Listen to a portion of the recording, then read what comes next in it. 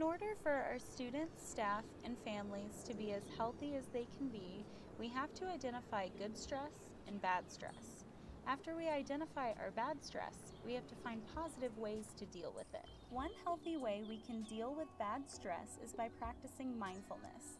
Mindfulness is paying attention on purpose to all of our senses and thoughts and feelings. We strive to be as present as possible and not let our minds wander. Some people practice mindfulness by meditating, but we can practice mindfulness in many different ways. Our biggest goal is to connect our mind with our body. The ultimate goal would be to completely clear your mind from anything not happening right now. We want to be completely in the present moment. Before you start your practice, you want to make sure you pick a time when you do not have to rush. Maybe this is in the morning before everyone else is awake and you have some time to yourself. Maybe you would like to practice before you go to bed so you can be relaxed as possible while falling asleep. You want to find a peaceful place where you won't be disturbed. I personally like to go outside while I meditate it allows me to get out of the house and physically distance myself from all of my responsibilities and obligations. We can focus on that when we're done with our practice.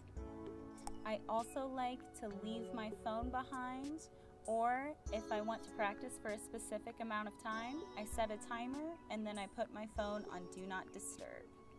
Once you're settled, we're ready to get started.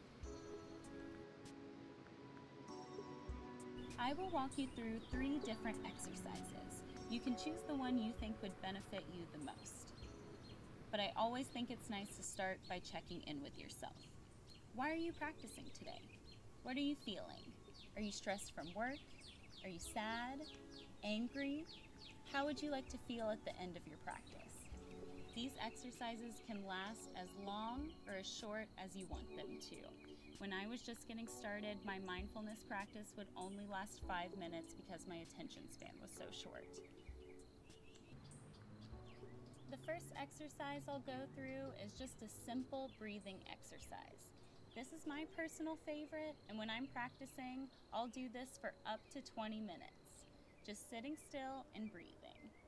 I like to breathe in through my nose for seven seconds, hold the breath in my chest for seven seconds, and then exhale through my mouth for seven seconds. And you can just cycle through this as long as you want. The second exercise, you bring yourself to the present moment by focusing on our five senses.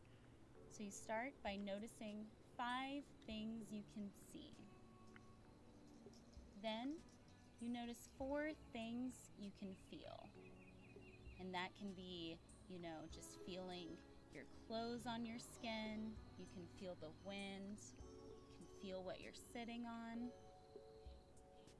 Then notice three things you can hear. We have a lot of birds around my house, so I think I could just pick three different types of birds that I hear.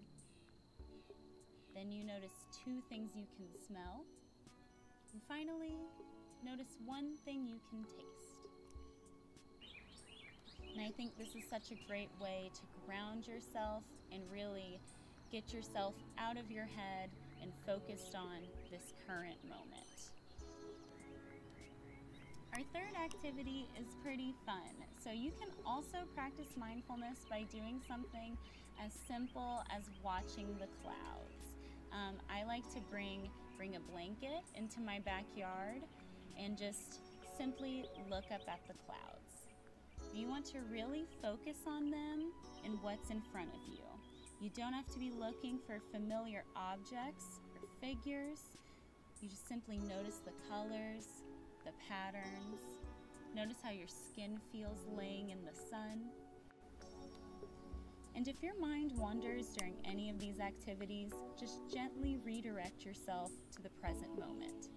This is a workout for your mind, and just like any other exercise, it'll be challenging at first, but it'll get easier with time. I hope you enjoyed this video and are able to find some stillness and peace in your day today.